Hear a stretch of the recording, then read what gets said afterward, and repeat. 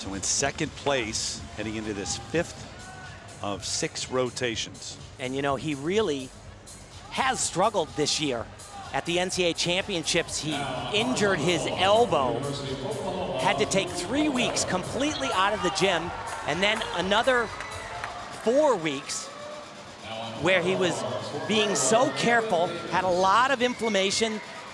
They did a procedure called PRP on him to help bring down the inflammation. If it didn't work, surgery was the next course. He's very happy he got away from that. Looking for handstands, and that was not even close. Saw him do that in warm-up so well. That one's a little better. His big release right here. Kovacs over the bar, close to the bar.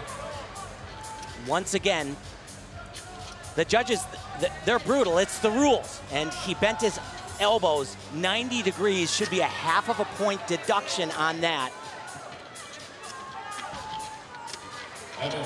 His dismount, a very easy for him, full twisting double layout.